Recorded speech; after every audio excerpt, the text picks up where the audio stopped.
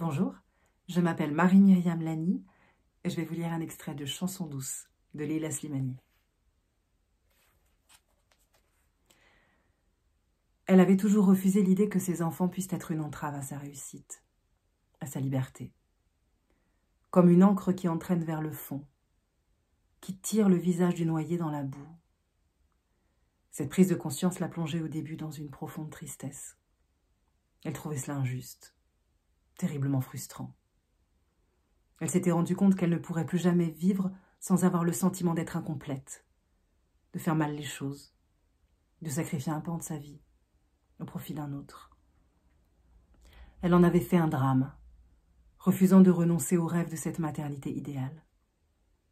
S'entêtant à penser que tout était possible, qu'elle atteindrait tous ses objectifs, qu'elle ne serait ni aigre, ni épuisée, qu'elle ne jouerait ni à la martyre, ni à la mère courage.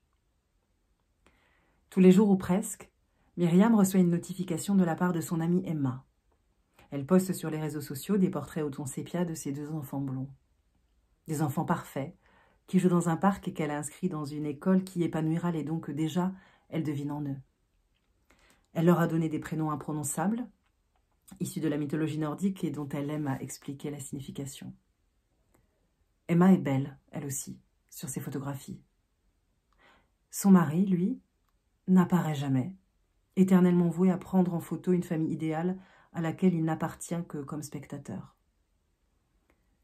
Myriam n'oserait jamais confier à Emma cette pensée fugace qui la traverse, cette idée qui n'est pas cruelle, mais honteuse, et qu'elle a en observant Louise et ses enfants.